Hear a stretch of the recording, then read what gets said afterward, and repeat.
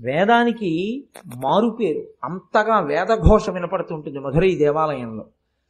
అంత గొప్ప దేవాలయం అక్కడ ఉండేటటువంటి అమ్మవారి ఆవిర్భావం మాత్రం ఆవిడ స్వయంభూ క్షేత్రం కాదు. ఒకరు ప్రతిష్ఠ చేసింది కాదు. అమ్మవారు అక్కడికి ఎలా వచ్చింది మరి? మీనాక్షి అమ్మవారు. అంటే ఆ ప్రాంతాన్ని మలయధ్వజ పాండ్యన్ అనబడేటటువంటి ఒక రాజుగారు పరిపాలిస్తూ ఉండేవాడు. ఆయనకి సంతానం లేదు. సంతానం లేకపోతే ఋత్విక్కులు నువ్వు హోమం చేయి యజ్ఞం చేస్తే నీకు ఆ యజ్ఞము యొక్క అనుగ్రహం చేత సంతానమును పొందడానికి ప్రతిబంధకమైన పాపము నివారింపబడి యోగ్యత పొంది సంతానాన్ని క- పొందుతా ఉన్నారు. ఆయన యజ్ఞం చేశాడు. యజ్ఞం చేస్తే యజ్ఞంలోంచి ఒక ఆడపిల్ల పైకొచ్చింది. పైకొచ్చి తండ్రి అని పిలిచి ఆయన దగ్గరికి వచ్చింది. ఆయన సంతోషించి ఆ పిల్లని ఎత్తుకున్నాడు. కానీ ఆ పిల్ల పుడుతూనే మూడు స్తన్యములతో పుట్టింది. ఆయన చాలా బెంగ పెట్టుకున్నాడు. ఇదేమిటి? ఆడపిల్ల ఇంత వికారంగా మూడు స్తన్యములతో ఉంటే లోకంలో ఎవరు ఈమెని భార్యగా స్వీకరిస్తారు అని. ఇప్పుడు అశరీరవాణి పలికింది. ఈమె మూడు స్తన్యములతో పుట్టడానికి కారణం ఈమెకి భర్త ఎవరో నువ్వు నిర్ణయించలేవు సుమా అని చెప్పడానికి. ఈమె ఏ పురుషుణ్ణి చూసినప్పుడు ఈమె మూడు స్థనములలో ఒక స్తనము అదృశ్యమై రెండు స్థనములు మిగులుతాయో ఆ పురుషుడే ఈమె భర్త. అమ్మవారు ఏ రూపాన్ని పొందినా ఏ అవతారాన్ని పొందినా ఆవిడ మాత్రం ఎప్పుడూ పరమశివుడికే ఇల్లాలి. కాబట్టి మలయధ్వజ పాండ్యన్ ఇప్పుడు ఆ పుట్టినటువంటి కూతుర్ని కొడుకుల్లా పెంచాడు. కొడుకులు లేరు కాబట్టి. యుద్ధ విద్య నేర్పాడు విని విద్య నేర్పాడు పట్టాభిషేకం చేశాడు. ఆమె రాజ్య పరిపాలన చేశాడు. రాజ్య పరిపాలన చేసింది ఆమెకి వివాహం కాలేదు. చాలా కాలం అయిన తర్వాత ఆ తల్లి ఒకనొక నాడు కైలాసానికి వెళ్ళింది. కైలాసానికి వెళితే కైలా పూర్వం యోగశక్తితో వెళ్ళారు వెళ్ళినటువంటి వాళ్ళు ఎందరో ఉన్నారు మహానుభావులు. అలా వెళ్ళింది ఆ తల్లి వెడితే అక్కడ మూడు స్తనములతో ఉన్నటువంటి అమ్మవారికి పరమశివ దర్శనం అవగానే రెండు స్తనములే ఉన్నాయి. ఒక స్తనం అదృశ్యమైంది. కనుక నాకు పరమశివుడే భర్త అని ఆమె పరమశివుణ్ణి ఆహ్వానించి భూమండలం మీదకి తీసుకొచ్చింది. అమ్మవారి అనుగ్రహం వల్ల కదండి సర్వేశ్వరుడు మనకి దక్కింది అసలు. లేకపోతే తనలో తాను రమిస్తూ కూర్చుంటాడు ఎక్కడో. తీసుకొచ్చి అమ్మవారిని కూడా ఆనందింపచేయగలిగిన మోహనాకారము కలిగిన వాడు కాబట్టి సుందరేశ్వరుడు అన్న పేరుతో వచ్చి అక్కడ వెలిశాడు. ఆమె సుందరేశ్వరుడి భార్యగా మీనాక్షి అన్న పేరుతో అమ్మవారు అక్కడ వెలిసింది. వాళ్ళకి ఒక కొడుకు కూడా పుట్టాడు. ఆయన సుబ్రహ్మణ్యుని యొక్క అంశ అంటారు. స్కందాంశలో పుట్టినటువంటి వాడు ఉగ్రపాండ్యన్నని ఆయన కొంతకాలం ఆ పాండ్యరాజ్యాన్ని పరిపాలించాడు ద్రవిడ దేశంలో.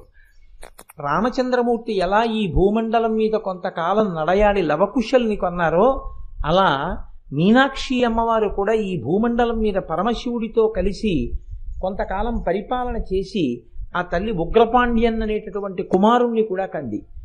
అంత ప్రఖ్యాతి వహించినటువంటి క్షేత్రం మధురై క్షేత్రం. ఆనాడు ఆ తల్లి వరం ఇచ్చింది నేను ఇక్కడే ఉండి పరిపాలన చేస్తాను అని. ఆ పరిపాలన చేస్తాను అని తల్లి వరమిచ్చి నిలబడినటువంటి క్షేత్రం మీనాక్షి అమ్మవారు. ఆ తల్లికి మీనాక్షి అని పేరు. మీనాక్షి అంటే చాపల వంటి కన్నులున్న తల్లి అని. పరిపాలకులకు ఒక లక్షణం ఉంటుంది. మీరు కొంచెం జాగ్రత్తగా గమనించండి మీనాక్షి అమ్మవారిది పరిపాలనాంశ. అందుకని ఆవిడ పరిపాలకురాలుగా ఉంటుంది. అందుకే కళ్ళతో చూస్తూ ఉంటుంది ఎప్పుడు. ఆఫీసర్ గారు ఇలా చూస్తున్నాడు అనుకోండి ఆయన చూస్తాడేమో అని మేము భయపడతాం. అలా ఆవిడ తన చూపులతో లోకాన్నంతటిని చూస్తూ ఉంటుంది పరిపాలన చేస్తూ ఉంటుంది. పరిపాలన చేసేటటువంటి వారికి ఒక లక్షణం ఉంటుంది సాధారణంగా. తమ పట్ల అనుకూలముగా వ్యవహరించినటువంటి వారికి వారు వరములనిస్తారు దగ్గరికి చేర్చుకుంటారు. ఎవరు ప్రతికూలంగా ఉంటారో ఎవరు విమర్శ చేస్తారో ఎవరు వాళ్ళకి వ్యతిరేకంగా మాట్లాడతారో అలాంటి వా అలాంటి వాళ్ళని కొంచెం ఇబ్బందికరమైన ప్రదేశంలోకి తీసుకెళ్ళి పెట్టి నా పట్ల నువ్వు అతిగా ప్రవర్తించడం ఎంత ప్రమాదాన్ని తెస్తుందో తెలుసుకొని మిగిలిన వాళ్ళకి ఉదాహరణగా చూపిస్తారు. తీసుకెళ్ళి ఏజెన్సీకి ట్రాన్స్ఫర్ చేస్తారనుకోండి ఈ రోజుల్లో అయితే. అది పరిపాలనాంశ. అటువంటి పరిపాలనాంశ కలిగినటువంటి తల్లి మీనాక్షి అని మీరు అనుకుంటే అప్పుడు అమ్మవారి యొక్క పరిపాలన ఎందు ఒక దోషం సంక్రమిస్తుంది. ఎవరు మీనాక్షి అమ్మవారిని స్తోత్రం చేస్తారో వాళ్ళని బాగా చూస్తుంది. ఎవరు మీనాక్షి అమ్మవారిని కించిత్తైనా వ్యతిరేకంగా మాట్లాడతారో వాళ్ళ మీద కక్ష పెంచుకు పెంచుకుంటుంది. ఇప్పుడు అమ్మవారి ఎందు మాతృత్వం ప్రశ్నింపబడిందా లేదా? శ్రీమాత అన్న నామమే ప్రశ్నింపబడిందా లేదా?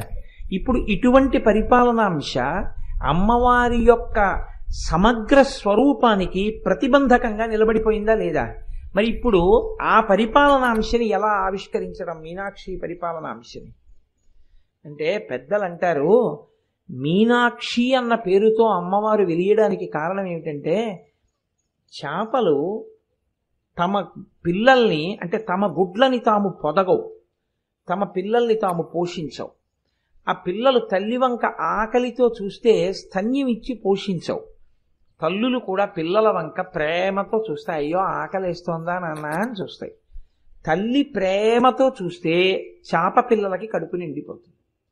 చూపులతో పోషించగలిగినటువంటి తత్వం కాబట్టి చూపులతో ఆవిడ ఇలా చూసి రక్షించగలిగినటువంటి తల్లి కాబట్టి ఆవిడ్ని మీనాక్షి అని పిలుస్తారు. అయితే ఇప్పుడు చూపులతో రక్షించగలిగిన తల్లి బాగుంది కానీ ఆ చూపులతో రక్షించడం అన్న పరిపాలనాంశలో ఆవిడికి వ్యతిరేకంగా మాట్లాడితే ఇబ్బంది పెడుతుందని మీరు ఇందాక అన్నారు కదా మరి అది ప్రమాదహేతువు కదా. అంటే ఏం అలా ఉంటే తప్పేమిటని మీరు నన్ను అడగచ్చు. భగవత్ తత్వంలో ఒక గమ్మత్తు ఒకటి ఉంది. భాగవతంలో ధర్మరాజు గారు ఈ విషయాన్ని మాట్లాడు నారదుడు ధర్మరాజు గారితో మాట్లాడుతూ అంటాడు. కామోత్కంఠత గోపికల్ భయమునన్ కంసుండు వైరక్రియా సామాగ్రించి చుపాల ముఖ్య నృపతుల్ సంబంధులై వృష్ణులను. ప్రేమన్ మీరలు భక్తి మేము ఇది చక్రింగంటి మెట్లైన నుద్ధామ ధ్యాన గరిష్ఠులైన హరిచందన్ వచ్చు ధత్రీశ్వర అంటాడు. భగవంతుడి విషయంలో ఉండే లక్షణం ఏమిటంటే కామోత్కంఠత గోపికల్ కామంతో గోపికలు పొందారు.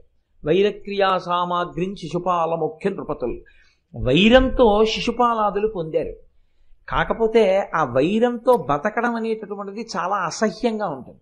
భక్తితో అమ్మవారిని చేరడం వేరు వైరంతో చేరడం వేరు. వైరంతోనైనా భగవన్నామాన్ని తలుచుకోవడం అమ్మవారు మాత్రం ఏదో ఒక రూపంగా నన్ను తలుచుకుంటున్నాడు కదా అని అనుగ్రహిస్తుంది.